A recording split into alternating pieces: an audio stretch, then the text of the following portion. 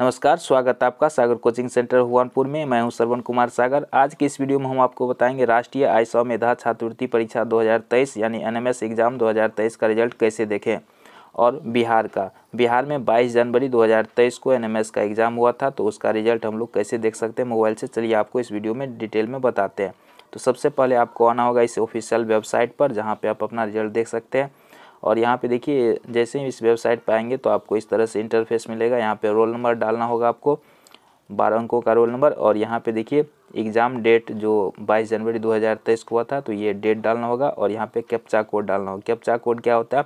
Side में आपको चार अंकों का एक कोड शो होगा, वही होता है कैप्चा कोड उसे इसमें फिल करना होता है और फिल करने के बाद सीधा इस पर सबमिट कर देंगे और आपका रिज़ल्ट शो हो जाएगा। तो चलिए आपको शुरू से बताते हैं कि कैसे आप इस वेबसाइट पर आ सकते हैं।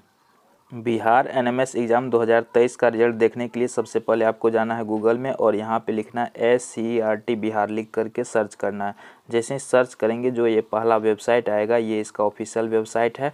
तो आपको क्या करना है, इसके नीचे आपको देखना है तो यहाँ पर एनएमएस रिज़ल्ट का एक ऑप्शन आपको दिखाई देगा। आपको सिंपली सा इस पर एन रिज़ल्ट वाले ऑप्शन पर क्लिक कर देना है। जैसे आप क्लिक करेंगे, आप यहाँ पर ऑफिशियल वेबसाइट पर पहुँच जाएँगे और यहाँ पर आप अपना रोल नंबर एग्ज़ाम डेट और कैप्चा कोड, ये वाला कोड डाल करके सबमिट करेंगे तो आपका रिज़ल्ट शो हो जाएगा।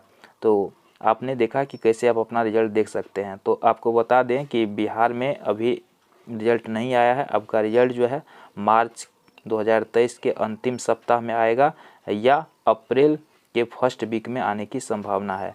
तो जैसे ही रिज़ल्ट आएगा, आपको हमारे चैनल के माध्यम से जानकारी मिल जाएगी। आप लोगों का काफ़ी सारा कमेंट आ रहा था कि, सर रिज़ल्ट कैसे देखेंगे? इस पर वीडियो बना दीजिए। तो चलिए, हमने आपको वीडियो बना दिया तो आप इस तरह से अपना रिज़ल्ट चेक कर पाएँगे। लेकिन अभी रिज़ल्ट नहीं आया, जैसे ही आएगा तो आप इस तरह से चेक कर पाएँगे। जानकारी अच्छी लगी हो तो लाइक करें, चैनल पर नहीं तो सब्सक्राइब करें। धन्यवाद।